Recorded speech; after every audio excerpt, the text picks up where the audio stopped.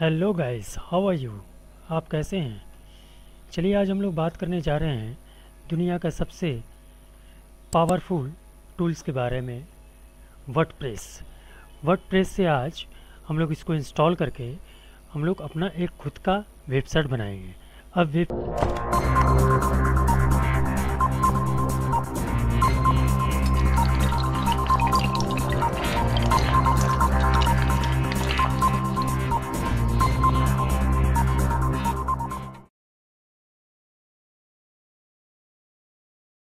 अब वेबसाइट बनाने में हम लोगों को दो चीज़ खरीदना पड़ता है। एक तो हो गया होस्टिंग और एक हो गया डोमेन नेम होस्टिंग उसे कहते हैं जहाँ पर ये आप अपना वेबसाइट का डेटा कोई स्पेस में रखते हैं तो उसको किराए में ख़रीदना पड़ता है रेंट पर। और एक डोमेन नेम जो होता है जो एक यूनिक नेम होता है, जो यूनिक नेम आप वर्ल्ड वाइज कहीं से भी उसको एक्सेस कर, करते हैं। तो उसमें बहुत सारा पैसा खर्चा होता है। तो आज हम लोग बिना पैसा खर्चा करे हम लोग फ्री में वेबसाइट बनाने की कोशिश करेंगे। एक्चुअली फ्री में बहुत सारा वे साइट में अवेलेबल लेकिन फ्री का, चीज़ फ्री का होता है। तो हम लोग आज अपने कंप्यूटर को होस्ट बनाएँगे। मतलब अपने कंप्यूटर को लोकल होस्ट सर्वर बना लेंगे और उसमें एक तो सॉफ्टवेयर को इंस्टॉल करेंगे, जिसका नाम है वेब सर्वर इसको हम लोग इंस्टॉल करते हैं और अपने ही कंप्यूटर में हम लोग लोकल एज सर्वर बनाएँगे, जिसके लिए होस्टिंग और डोमेन नेम खरीदने की ज़रूरत नहीं है। नॉर्मली दो कंपनी जो बहुत इंपॉर्टेंट कंपनी है होस्टिंग और डेमन नेम जो प्रोवाइड करती है। एक तो गो डैडी का नाम आपने सुना होगा, ये होस्टिंग और डोमेन नेम प्रोवाइड करती है, और दूसरा है होस्ट कैटर। ये दोनों ही कंपनी बहुत अच्छी है, बहुत अच्छी सर्विस देती है, इसमें लेकिन आपका पैसा खर्च होगा। आज हम लोग कुछ भी खर्च करना नहीं चाह रहे हैं। आज हम लोग फ्री में अपने ही कंप्यूटर को होस्टिंग बन, होस्ट सर्वर बना लेंगे और डोमेन नेम कोई भी हम लोग यहाँ से रख लेंगे। हम लोग डोमेन नेम खरीदने का ज़रूरत नहीं है।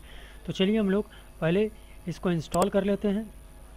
इसको आप इंस्टॉल कर लीजिए, आपका सिस्टम पहले देख लीजिए, आपका 32 बिट और 64 बिट का जिसका भी सिस्टम है, आप यहाँ से इंस्टॉल कर लीजिए तो आपका सिस्टम में सर्वर इंस्टॉल हो जाएगा। हमने ऑलरेडी इंस्टॉल कर कर लिया है, इसलिए मैं इंस्टॉल नहीं करता। और यहाँ से आप जाके, यहाँ से WordPress WordPress actually है क्या है? ये open sales source web creation tools है, जिसको हम लोग सी भी बोलते हैं। इसमें आप अगर चाहें तो ई कॉमर्स जिस तरह फ्लिपकार्ट रेलवे का है, बस डॉट कॉम, ये सब जो है, इस टाइप का जो वेबसाइट होता है, आप इसमें ई कॉमर्स का भी वेबसाइट इन फ्यूचर में आप बना सकते हैं, ये फैसिलिटी वर्ड डॉट ऑर्ग में तो आप वर्ड प्रेस डॉट ऑर्ग में जाकर यहाँ से आप इसको डाउनलोड कर लीजिए और सर्वर डाउनलोड कर लीजिए। हमने इसको दोनों को ही डाउनलोड कर लिया है, अब हम लोग चलते हैं सीधा अपने सर्वर में। तो हम इसको मिनिमाइज़ करते हैं। यहाँ पे देखिए ये सर्वर है, इसको आप डबल क्लिक कीजिए। डबल क्लिक करने के बाद आपका सर्वर ऑन हो जाएगा। तो आपको कुछ इस तरह से दिखेगा। यहाँ पर इस सिस्टम ट्रे में आपको सर्वर मिलेगा। ग्रीन कलर का आपको दिखता होगा। ये वाला सर्वर है। ठीक है ना? तो कभी कदर होता क्या है कि ये सर्वर इंस्टॉल नहीं हो पाता है तो कोई फ़ाइल डीएलएल फ़ाइल वगैरह मिसिंग होता है। तो आप उसको नोट कर लीजिए, कौन सा डीएलएल फ़ाइल मिसिंग है। आप नेट में सर्च करिए, फिर उस डीएलएल फ़ाइल को डाउनलोड करके अपना प्रॉब्लम को फिक्स कर लीजिएगा। जैसे मेरा भी हुआ था। ठीक है? उसके बाद आपका सर्वर यहाँ पे अभी फ़िलहाल रन किया हुआ है। यहाँ पे आप देख लीजिए, आपके सर्वर के साथ एक पॉपअप विंडोज़ आता है। यहाँ पे आपका सर्वर फ़िलहाल रनिंग अवस्था में है, ठीक है? इन केस अगर कुछ प्रॉब्लम होता है तो यहाँ से आप सर्वर को रिस्टार्ट कर दीजिएगा तो फिर से ये रन हो जाएगा। अब सर्वर हमारा रन हो गया। अब हमारे पास जो डेटा है वर्डप्रेस जो सीएमएस टूल सीएमएस है कॉन्टेंट मैनेजमेंट सिस्टम इसको आप डाउनलोड करिएगा तो जीप फ़ाइल में आएगा। आप इसका जो डेटा है आपको अपना होस्ट में डालना पड़ेगा मतलब लोकल होस्ट में। आपका कंप्यूटर फ़िलहाल लोकल होस्ट है तो हम इसको यहाँ से कॉपी करके हम लोकल होस्ट में डालेंगे। तो हमारा होस्ट क्या है फ़िलहाल? हमारा होस्ट फ़िलहाल है हमारा कंप्यूटर तो यहाँ पे जाके क्लिक करते हैं और यहाँ से हम लोग डब्ल्यू डायरेक्टरी में जाते हैं और यहाँ से यहाँ पे जाने के बाद यहाँ पे वर्ड को हम लोग पेस्ट करते हैं। वर्ड हमारा कॉपी हो रहा है। कॉपी होने के बाद इसको हम लोग रीनेम कर लेंगे अपने साइट के हिसाब से। तो चलिए हम लोग यहाँ पर रीनेम कर लेते हैं। कोई नाम रख देते हैं। तो यहाँ पे फ़िलहाल मैं इसको रीनेम करता हूँ। माई हाउस के नाम से मैं रीनेम कर लिया। अब हमारा दूसरा काम है कि हमको डेटाबेस बनाना है। तो फिर से हम लोग सर्वर में जाते हैं और यहाँ से, फिर से हम लोग सर्वर में जाते हैं और यहाँ से देखिए, उसी के ऊपर P H P my admin वाला एक ऑप्शन मिलेगा। यहाँ पे क्लिक करने के बाद आपको यहाँ पे लॉगिन करके अंदर जाना पड़ेगा। तो बाय डिफ़ॉल्ट इसका यूज़र नेम होता है। जब आप शुरुआत में पहली बार खोलेंगे तो रूट होता है और पासवर्ड कुछ नहीं होता है। तो हम यहाँ से गो में क्लिक करेंगे तो हमारे सामने एक विंडो खुलेगा। अब हमको यहाँ पर डेटाबेस यूज़र नेम यूज़र बनाना है तो यहीं पे ऊपर में देखिए, यहाँ पे आपको यूज़र अकाउंट में क्लिक करने पड़ेगा और यहाँ से न्यू यूज़र में क्लिक करना है, ठीक है? तो फ़िलहाल हम यहाँ पे ऐड ए न्यू अकाउंट में क्लिक करते हैं और यहाँ पे कुछ फॉर्मेट इसको हमको भरना होगा। तो चलिए फट, देखिए, यहाँ पे हमने तीन चार फ़ील्ड था यूज़र टेक्स्ट फ़ील्ड में हम माई हाउस लिखे हैं और उसके बाद लोकल यहाँ से हम लोग लोकल सेलेक्ट किए हैं और यहाँ पे लोकल होस्ट और उसके बाद पासवर्ड में one two three four five six लिखे हैं। लिखने के बाद आप इसके नीचे आते हैं और यहाँ पे देखिए डेटाबेस फॉर यूज़र अकाउंट में दोनों तरफ़ चेक कर देते हैं। इससे हम एक यूज़र के साथ डेटाबेस बना लिए। अब यहाँ ग्लोबल प्रिविलेज में जाकर यहाँ पर चेक करते हैं चेक ऑल जिससे हमारे यूज़र को पूरा एक्सेस मिल जाता है इस लोकल होस्ट में। ठीक है? अब यहाँ पे जाके एकदम नीचे की तरफ़ गो का एक ऑप्शन मिलता है, यहाँ पे हम लोग क्लिक करते हैं। तो अब हमारा डेटाबेस और यूज़र यहाँ पर फ़िलहाल तैयार हो गया। चलिए अब दूसरा काम है हमारा, यहीं से जाकर सर्वर में जाते हैं और फिर से हम लोग डब्ल्यू डायरेक्टरी में क्लिक करते हैं। अब जो माई हाउस जो हम लोग वहाँ से वर्ड का फोल्डर को यहाँ पे कॉपी किए थे डब्ल्यू डब्ल्यू वाला डायरेक्टरी में है, इसको इसको हम लोग खोलते हैं और यहीं पे देखिए आपको W V config slash dot P का एक फ़ाइल मिलता है। इसको आप राइट क्लिक करिए। राइट क्लिक करने के बाद open with Notepad plus plus ये एक छोटा सा सॉफ्टवेयर है जिसको आप आराम से डाउनलोड कर सकते हैं। इसमें प्रोग्रामिंग लैंग्वेज को एडिट करना बहुत आसान होता है। तो यहाँ पे हम लोग क्लिक करके इसको ओपन करते हैं। अब आराम से यहाँ पे जो जो चीज़ हम लोग वहाँ पे रखे थे, इसको यहाँ पे भर लेना है। जैसे डेटाबेस का नाम और उसका यूज़र नेम और पासवर्ड तो हमारा डेटाबेस का नाम था माई हाउस ठीक है? माई हाउस और यहाँ पे यूज़र नेम था माई हाउस। और पासवर्ड क्या था? पासवर्ड था one two three four five six. ठीक है, one two three four five six. Password था ये सब करने के बाद हम ऊपर में इसको जाके सेव कर देते हैं। वर्डप्रेस का जो ये है उसको हमको इंस्टॉल करना पड़ेगा, जिसके लिए हमको अपने ब्राउज़र में जाना पड़ेगा। यहाँ पे local host local host local host के बाद जो आप फोल्डर का नाम रखे थे, जैसे हम लोग रखे थे my H U S E house my house को क्लिक करने के बाद यहाँ पे आपके सामने ये वर्ड का इंस्टॉलेशन प्रोसेस स्टार्ट हो जाता है। आप यहाँ पे हिंदी, इंग्लिश, बहुत, बंगला बहुत सारा चीज़ है हम इसको इंग्लिश ही रखते हैं और कंटिन्यू पे क्लिक करते हैं। यहाँ पे आने के बाद आपको लिस्ट गो में क्लिक करना है। अब यहाँ से database name user name password database ये सब आपको यहाँ पे भरना है। तो चलिए फटाफट भर लेते हैं। और लास्ट में रन द इंस्टॉलेशन में क्लिक करते हैं। तो ये हमारा इंस्टॉलेशन होना जैसे स्टार्ट हो जाएगा, उसके बाद आपको यहाँ पे अपने साइट का नाम लिखना है। तो हम यहाँ पे अपने साइट का नाम अपरिचित जोन ही लिख देते हैं। और यहाँ पे आपको कोई पासवर्ड देना है तो फ़िलहाल हम छोटा सा कोई पासवर्ड लिख देते हैं। One two three four five six confirm use weak password कोई बात नहीं, आप स्ट्रॉन्ग पासवर्ड दीजिएगा और यहाँ पे ईमेल हम लोग लिख देते हैं। तो अपरिचित जोन के ही नाम से at ji mail dot com यहाँ लिख देते हैं। और सर्च इंजन ये डिस्कवर सर्च इंजन ये सब करने के बाद इसको टिक कर देते हैं और यहाँ पर इंस्टॉल वर्डप्रेस में क्लिक करते हैं। तो please provide a valid user name तो यहाँ पे यूज़र नेम वो छोड़ दिए थे यहाँ पर ही वर्डप्रेस को लॉगिन करने के लिए एक यूज़र नेम चाहिए। तो यहाँ पे लिख देते हैं, अपरिचित कर देते हैं, ठीक है? और कंफर्म पासवर्ड कंफर्म एक पासवर्ड ठीक है, और यहाँ से हम लोग it is up to search engine to honour this यहाँ पे क्लिक करते हैं तो हमारा वर्डप्रेस का अपरिचित, और इसका अब यहाँ पे हमारे पास ये वाला ऑप्शन आ जाता है। अब हमको इसको एडमिन पैनल में जाने के लिए, इसका मतलब हुआ हमको बैकएंड में लॉगिन करने के लिए या तो एड्रेस बार में लिखना पड़ेगा या तो यहीं से डायरेक्ट आप लॉगिन कर सकते हैं one, two, three, four, five, six. तो जैसे हम इसको लॉगिन करते हैं तो हमको ले जाता है बैकेंड में। ये हमारा बैकेंड हमारा खुल गया। अगर आप चाहते हैं कि यहाँ से भी लॉगिन करना है तो यहाँ पर देखिए local host dash my house मैंने जो फोल्डर का नाम डब्ल्यू वी डॉट एडमिन इसको भी आप क्लिक करके ही डायरेक्ट लॉगिन में जा सकते हैं। तो ये हमारा वर्डप्रेस इंस्टॉल हो गया और इसका डैशबोर्ड इस तरह से हमारे सामने आया। डेस्कटॉप डैशबोर्ड तैयार हो गया। अब इसमें से हम लोग लॉगिन करने के बाद यहाँ से लॉग आउट हो सकते हैं। ठीक है लॉगिन करने के बाद आप यहाँ से देखिए डिफ़ॉल्ट है डिफ़ॉल्ट यही है। अब यहाँ से हम लोग, यहाँ से विज़िट करके राइट क्लिक करके ओपन टैब में खोलते हैं। तो ये हमारा वेबसाइट फ़िलहाल इंस्टॉल हो गया है। अब यहीं से हम चाहें तो अपना ब्लॉगिंग और पोस्टिंग करना स्टार्ट कर सकते हैं। तो चलिए हम लोग इसमें कुछ पोस्ट क्रिएट कर लेते हैं, दो चार पोस्ट क्रिएट कर लेते हैं। यहीं पर देखिए, एक ऑप्शन है पोस्ट का। यहाँ से ऑल पोस्ट अगर पूरा पोस्ट आप किए होंगे तो यहाँ से देख सकते हैं, हम ऐड न्यू पोस्ट करते हैं। यहाँ से जैसे ऐड न्यू पोस्ट करते हैं, यहाँ पर एक टाइटल है। तो हम लोग यहाँ पर कुछ लिख देते हैं। आप कुछ भी टाइटल लिखिए, मैं डमी पोस्ट फन लिखता हूँ।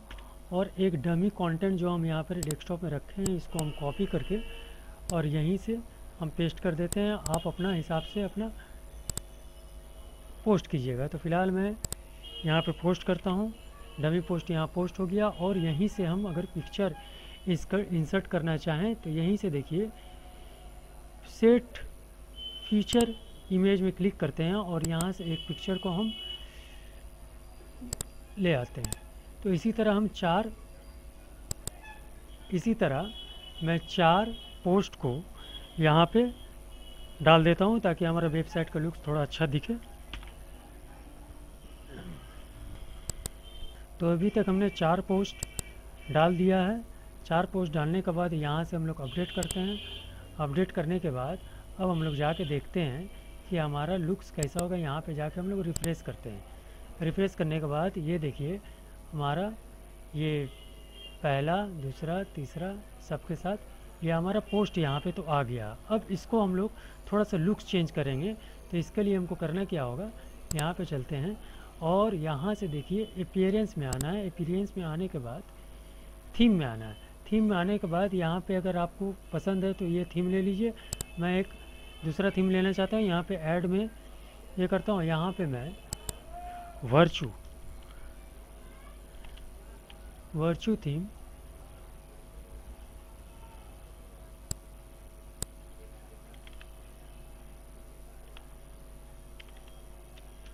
Virtue theme को सर्च करता हूँ और यहाँ से मैं इसको इंस्टॉल करता हूँ। इंस्टॉलिंग स्टार्ट हो गया है। इंस्टॉल होने के बाद आपको यहाँ पे एक्टिवेट करना है। एक्टिवेट करने के बाद ये वर्चू थीम आपका जो थीम था फ़िलहाल ऐसा, इसको हम लोग रिफ्रेश करके देखते हैं। तो देखिए, यहाँ पे वर्चू थीम आ गया। अब यहाँ पे जाके हमको यहाँ पे स्लाइडिंग चेंज करना होगा और ये देखिए, पोस्ट का कुछ इस तरह से आ गया। अब यहाँ पर और बहुत सारा काम है तो चलिए हम पारी पारी से इसको करते हैं।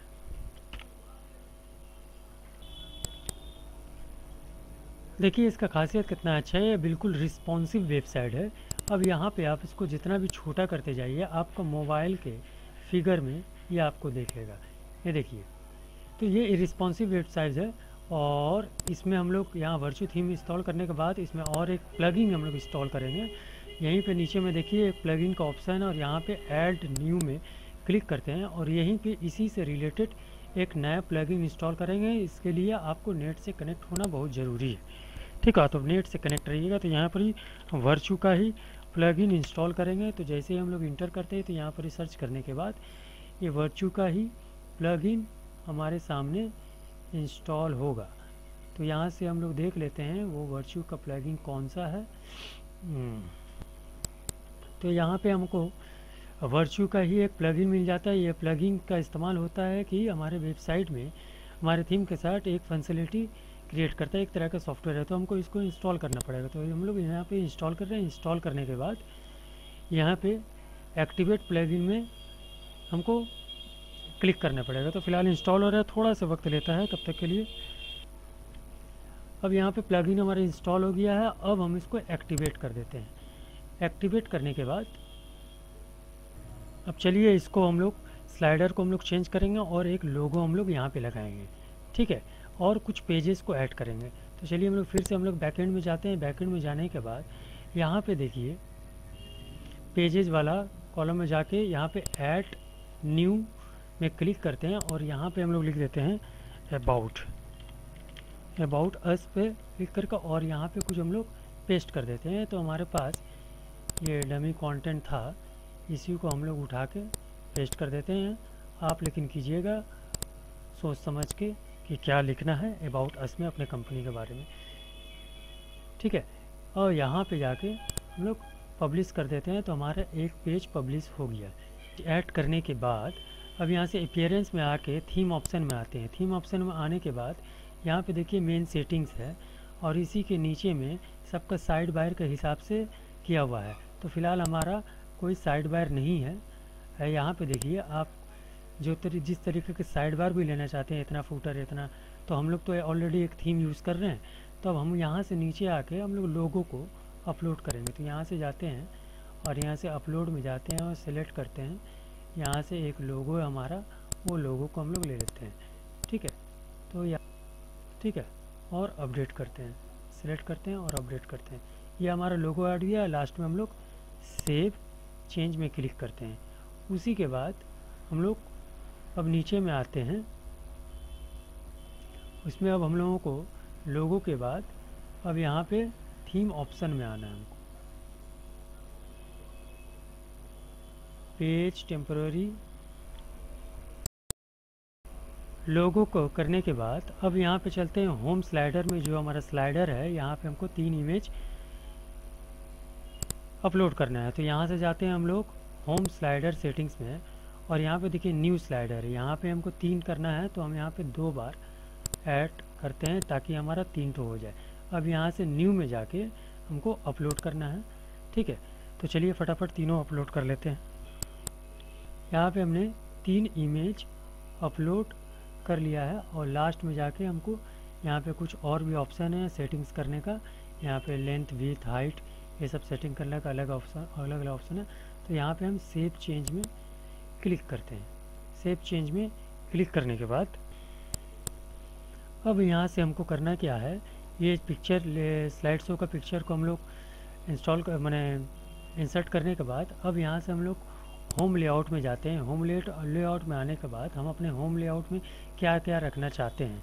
तो यहाँ पे देखिए दो ऑप्शन है डिसेबल और इनेबल तो पहले जो इनेबल वाला जितना भी चीज़ है, हम इसको इस साइड में ले आते हैं। ठीक है?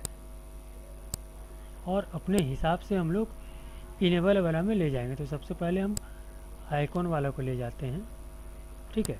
एक आ गया, उसके बाद पोर्टफोलियो को ले आते हैं, इसका नीचे। और इसके बाद लेटेस्ट ब्लॉक। तो क्लिक करके उसका नीचे हम लोग रखते हैं। तो ये हम लोग तीन यहाँ पे कर देते हैं और यहाँ पर होम ब्लॉक टाइटल। तो होम ब्लॉक टाइटल में कुछ लिखना है तो हम लोग display portfolio type under title. अब यहाँ से जाके सेव चेंज में क्लिक करते हैं।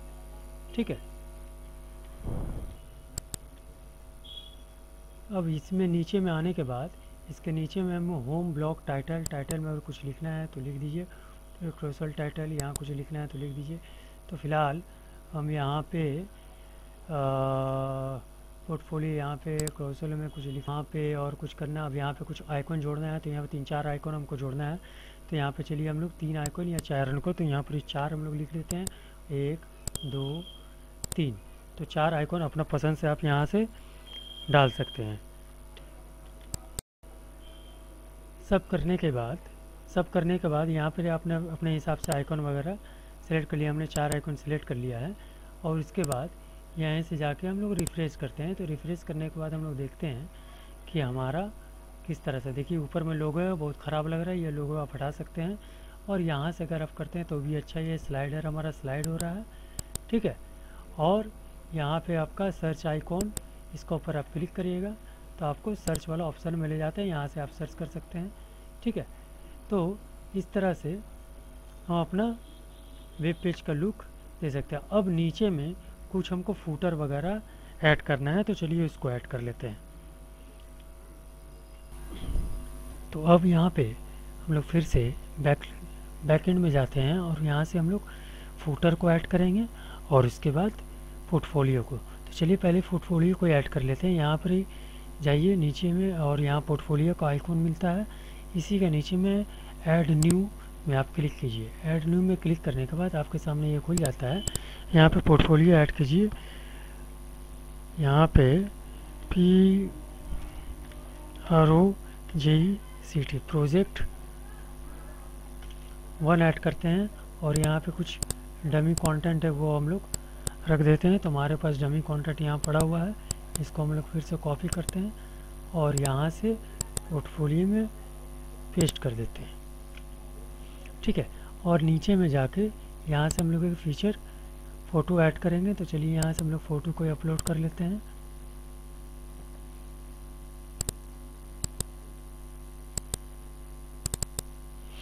चलिए एक फ़ोटो अपलोड कर लिया। इसी तरह यहाँ पे सेव कर देते हैं और अपडेट कर देते हैं पब्लिश कर देते हैं। उसी तरह हम लोग और दो पोर्टफोलियो में ऐड करेंगे तो चलिए फटाफट कर लेते हैं। तो इस तरह से तो इस तरह से हमने तीन प्रोजेक्ट को ऐड कर दिया और इसमें पिक्चर भी अपडेट कर दिया है। अब इसको हम लोग अपडेट करते हैं। अपडेट करने के बाद, अब यहीं पे हम लोग को फूटर में जाना है। तो यहीं पे नीचे में देखिए विजेट का ऑप्शन आपको मिलेगा।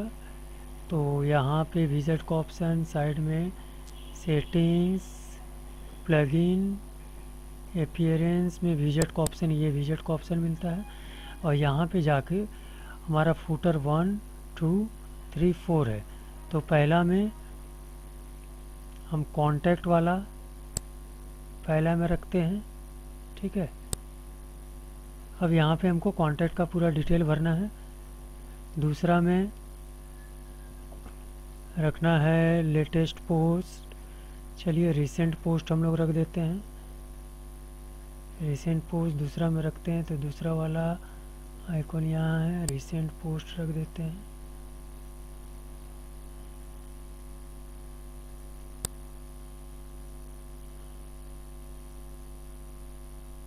इसी तरह, और उसके बाद इमेज ग्रिड रखते हैं, और लास्ट में सोशल मीडिया रखते हैं तो चलिए फटाफट हम लोग इसको कर लेते हैं। देखिए, यहाँ पे हमने अपना कॉन्टैक्ट का पूरा डिटेल भर दिया है। यहाँ पे लेटेस्ट पोस्ट का और यहाँ पे प्रोजेक्ट का और लास्ट में जो भी आपका सोशल मीडिया उसका आप यू आर एल यहाँ पर भर दीजिए। भरने के बाद सबको सेव कर दीजिए। ठीक है? सबको आप सेव कर दीजिए। सेव करने के बाद आप यहाँ से इसको ट्यूब में खोल के देख लीजिए। ये कैसा लगता है। सारा चीज़ करने के बाद हम सेव कर लेते हैं। उसके बाद अब यहीं से हम लोग विज़िट करके देखते हैं कि हमारा साइट अभी किस तरह से दिखता है।